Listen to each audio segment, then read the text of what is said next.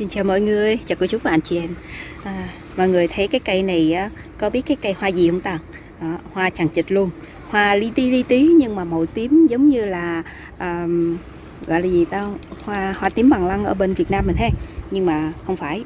Cái hoa này á, mình không biết dịch tới tiếng Việt là gì Nhưng mà tiếng Pháp gọi là hoa Jude thì ờ, ở ngày xưa ngày xưa xưa thật là xưa luôn đó. Thời của uh, Chúa Giêsu đó thì uh, người ta kể lại rằng là có một người có cái tên gọi là Jude thì cái ông đó đó ông phản bội Chúa cho nên là ông uh, treo cổ uh, sau này đó ông uh, ông hối tiếc đó cái ông treo cổ tự tử.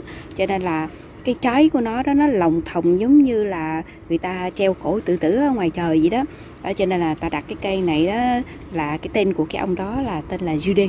Đó các bạn thấy cái hoa nó đẹp ghê chưa? Nó li tí thôi ha nhưng mà màu tím màu màu tím hoa sen rất là đẹp luôn. Thì uh, ở đây đó cái mùa này bắt đầu trời nóng rồi cho nên là uh, không có những cái hoa bạc ngàn giống như là hoa anh đào hay là hoa mộc lan Ờ, chỉ có cái hoa này thôi. Thì uh, hoa này uh, nó đứng ở một cái góc trời nhìn quá đẹp luôn. Đó hoa li tí nhưng mà rất là nhiều luôn ha. Đó, nhìn thấy cái cây này phải nói là thích thú luôn. Thích thú làm sao luôn? Đó, quá đẹp. Hoa, hoa tím đẹp. À, Judy đó thì à, cái trái này. Bạn nhìn thấy cái trái đó không?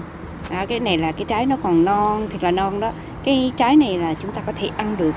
Đó chúng ta có thể ăn được và um, nó có cái vị uh, ngọt ngọt và chát chát. Đó thì uh, khi mà người ta ăn bánh xèo hay gì đó mà ăn cái này kèm theo thì chắc có thể ờ, ngon lắm á. Thì uh, nói chung là cái trái này nó ăn được. Và mình thấy nó giống giống như uh, cái trái bồ kết bên mình ha. Nhưng mà không biết có có phải họ hàng với trái bồ kết hay không. Nhưng mà uh, thật sự là trái này ăn được. Đó trái Judy.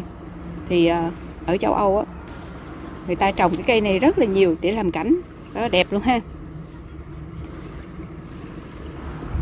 À, bây giờ mình quay cận cảnh cho các bạn xem nè cái trái nó còn non này đó nó, nó nhỏ nhỏ thôi nó còn non nhỏ xíu đó trái ăn được trái dại ăn được.